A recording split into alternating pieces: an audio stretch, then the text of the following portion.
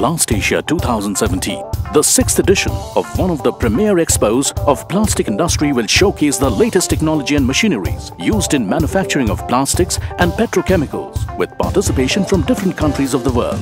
Spread over 30,000 square meters, this expo will be an excellent platform for exhibitors to publicize and display their products, innovations and services, enhance brand image and develop leadership and market position in the global areas.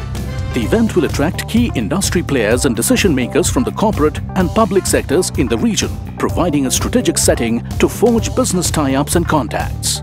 PlastAsia 2017 will witness 490 plus companies from India and abroad and feature a separate China pavilion along with participants from Taiwan, Germany, Russia, Malaysia, Korea, Thailand, Vietnam, etc.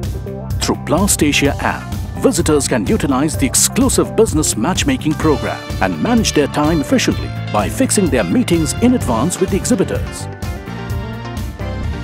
See you at PlastAsia 2017 from 8th to 11th July 2017 at Pragati Maidan, New Delhi in hall numbers 8 to 12, 12A and 18.